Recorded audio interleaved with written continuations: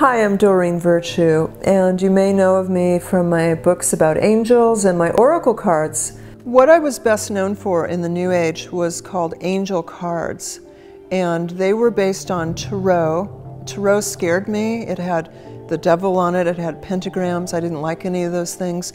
So I created a deck of cards that didn't have any kind of evil symbolism, but uh, still was used for divination. And after a while, I think I had about 25 different decks of cards for sale. And I would give workshops around the world and on videos where I'd be demonstrating the cards or teaching other people how to use them. You know, everyone has guardian angels. I'm speaking as a lifelong clairvoyant. I didn't think anything I was doing was wrong. I hadn't read the whole Bible. There's no one in the sky with a clipboard judging you. That's all dumbed down religion stuff that is not true. I thought that Jesus approved of everything we did as long as we were happy and positive. That's what we were told. We were also told there was no such thing as sin. Because if you think about it, the biblical assessment of man, what the Bible says about us as men and women, is not naturally appealing. You know, if you want to appeal to people in the Chagrin Valley, you probably shouldn't tell them what the Bible says about them. And no such thing as hell or the devil, that the crucifixion was a metaphor and not literal. Because what the Bible says about us all is this one, I'm sinful, two, I'm guilty, three, I'm responsible, and four, I'm lost. I was born and raised in a false church, Christian Science. We'd go to Unity sometimes, but it was basically Christian Science, and it teaches a completely false gospel. It teaches that Jesus is a created being, the first Christed person that we are to aspire to, and that God is basically a genie who will grant your wishes and give you health. What is your heart's desire? What do you wish? Listen to your heart. It always speaks the truth. My mother had always told my brother and I that we were Christians because of Christian science. And I went right into the New Age, basically was teaching Christian science in the New Age and became the top selling New Age author at the top selling New Age publishing house. And I don't say that to brag, I say that to give glory to God because to be saved out of that deception is miraculous. See, these people are in search of a spirituality that is disconnected from biblical truth. You're one with me, you're one with Jesus, you're one with Mary, you're one with God, you're one with all the angels, you're one with the person sitting next to you right now in this theater. Jeremiah says the same thing. Listen to this. An appalling and horrible thing has happened in the land. Whoa, what's that? The prophets prophesy falsely, the priests rule at their discretion, and my people love to have it so. It was January 2015 when I first had kind of this bubble of narcissism that I was in, where I thought that any thought I had must be from God. I had that popped. I, I was pierced by the truth on, um, in January 2015 when I was driving and listening to Christian Satellite Network, and Alistair Begg came on with a sermon called Itching Ears about 2 Timothy 4 and he talks about in the end times that people will want their itching ears tickled by false teachers. And he described what a false teacher did to give false hope. They will accumulate for themselves teachers who will accommodate their passions. This is what I want to be. Oh, well, we can help you with that. As opposed to, well, actually, this is what the Bible says. And as he talked, it was the first time I'd ever been convicted for being a false teacher.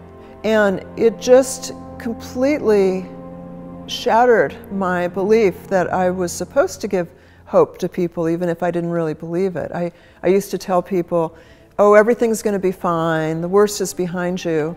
And uh, I realized listening to Alistair that I was not helping people doing that. Don't speak to me smoothly. Speak to me straightforwardly. My life depends on it. My eternal destiny depends on it. I really consciously changed. I was still a New Age teacher. I was still spreading deception because I was deceived. But after hearing his talk, it pointed me to go to church, which ultimately pointed me to the Bible. And when I got to reading Deuteronomy 18 10 through 12, that's when I saw a list of things that I was doing um, fortune telling, divination, mediumship, interpreting omens. And the passage says that God sees people who do those things as an abomination. Not the actions, but the people. I, I was blown away by reading this. Uh, I thought before then I was, I know it sounds ridiculous, but I thought that I was helping God in the New Age. A lot of false teachers think they're helping God because we seem to be comforting people, making them happy. Um, we seem to be bringing healing to them, but it's all demonic, and we are blind to that truth. So when I read Deuteronomy 18 10 through 12, that's when I finally realized that I was a absolute wretched sinner who'd been spreading lies, destructive lies that could send people to hell for 22 years in the New Age that I'd been teaching, and uh, it just broke me. And I just got on my knees and and started crying. Probably did for about three days. I just kept saying to God, I didn't know, I didn't know, I'm so sorry. I had no idea that I was defying you. I had no idea that I was breaking your law, that I was sinning. And I just kept saying, I don't know what I'm doing. Please, please, Lord Jesus, take over my life. And just praying that He wouldn't send me to hell or anyone to hell for my false teachings. And that's when I was saved. If you're being called out of the New Age to follow Jesus, you may initially feel confused and frightened. Christianity is grounded upon repenting and having faith in the true Jesus of the Bible, as opposed to the ascended master, false Jesus of the New Age, who is a permissive universalist. Jesus, the real Jesus, was fully God and fully man during his earthly ministry. As the sinless Son of God, Jesus died for us as the perfect substitute sacrifice for the sins that we have all committed. Jesus said that if we love him, we will obey his commands. Said this in John 14, 15. We are saved by our faith in Jesus, not by our good works. However, when we are saved, we want to obey God. Here are some guidelines to help you navigate the early days of leaving the New Age to follow Jesus. First, get on your knees, unless it's physically or medically not viable, and sincerely confess your known and unknown sins to God. Apologize and pray for God to forgive you. Pray for the strength to leave behind your idols and sins, and pray for God to give you wisdom and the ability to trust and love Him. Pray for Jesus to be your Lord and Savior and give your life to Him. Now, there is no one size fits all script for these prayers. It's best to pray from your heart sincerely. If you're like me, you will cry buckets of tears during the process. You might even doubt whether God could possibly forgive you. Rest assured that if you're sincere in giving your life to Jesus and believing in Him, and you're sincere in your repentance, God will forgive you. However, there will probably be consequences for your sins. Number two, read the Bible daily. Pray for the Holy Spirit to illuminate Scripture for you. You can download the free ESV Bible app if you don't own a physical Bible. It is best, though, to have your own physical Bible in one of these translations New King James Version, ESV English Standard Version, or NASB, which are accurate formal translations. The NLT, New Living Translation, is also a respected dynamic, which means Thought for Thought translation, which is in a simpler, more modern language for those who are new to the Bible. Definitely avoid, though, the Passion, the Message, and New World Bible, which are not true Bible translations at all. Reading the Bible daily will help you to know, trust, and love God. One of the reasons why people are drawn to the New Age in the first place is because they don't know or trust God, and so they try to control, predict, and manipulate their own future.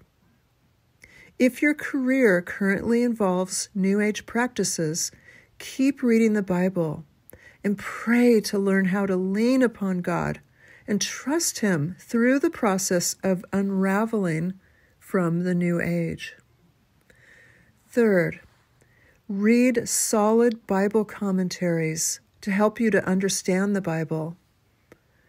I read enduringword.com and gotquestions.org when I was first reading the Bible, as they're both very helpful free sites that I still read. I also was edified by reading David Guzik's commentary books. Currently, I read commentaries from R.C. Sproul during my morning personal Bible study. Other helpful commentary authors include Matthew Henry and Charles Spurgeon.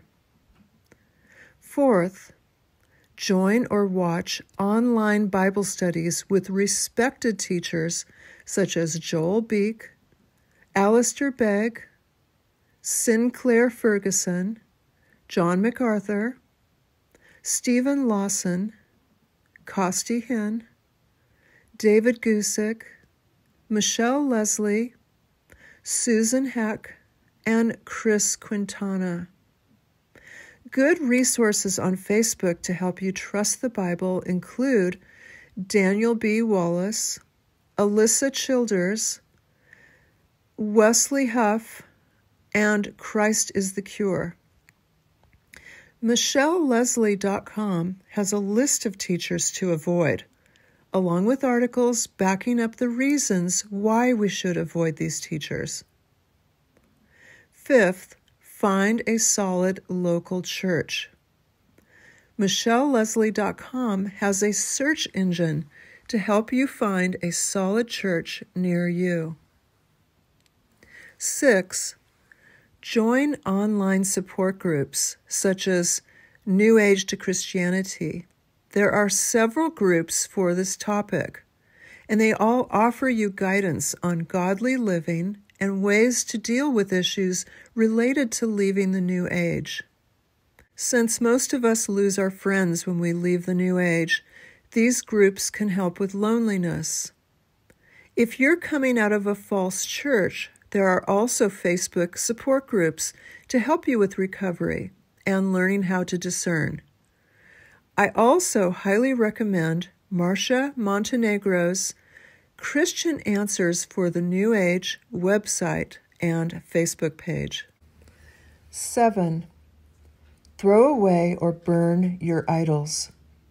Pray for the Holy Spirit to guide you in knowing what items to throw away or burn. These items represent your investment in New Age deception, and so you might be reluctant to throw them away if you've spent a lot of money on them.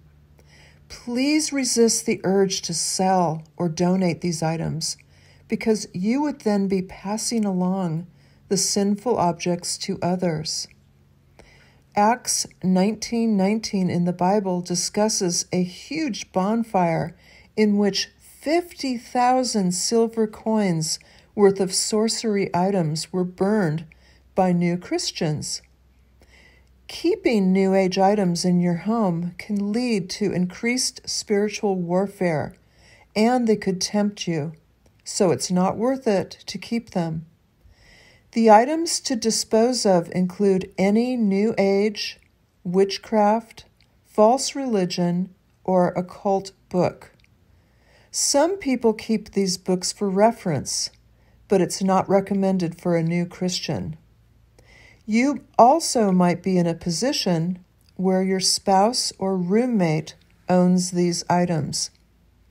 In my case, my husband has some angel paintings and a Knights Templar statue in his office.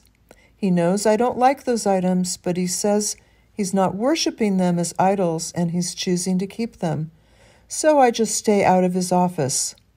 Similarly, my mother, who lives with us, has Christian science books and she hangs on to some of my old books because they mentioned her in a favorable way.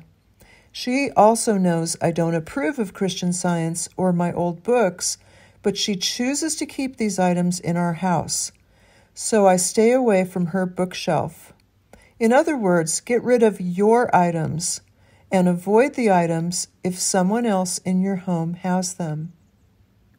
Other New Age items to throw away or burn include crystals if they were used as idols, which means that you saw them as having special powers apart from God, wands, pendulums, oracle, divination, or tarot cards, Ouija boards, sacred geometry objects, or clothing or jewelry, oil blends that promise magical solutions such as abundance, images that would distract you from Jesus and the Bible, occult ceremonial objects such as candle magic, and vision boards.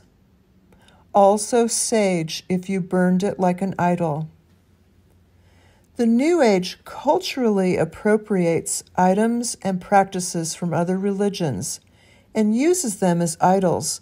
So please also throw away or burn dream catchers, statues, or paintings of idols, evil eyes, mandalas, yoga mats, mala beads, drums used in drumming circles, and any drugs, natural or not, used for vision quests or journeying.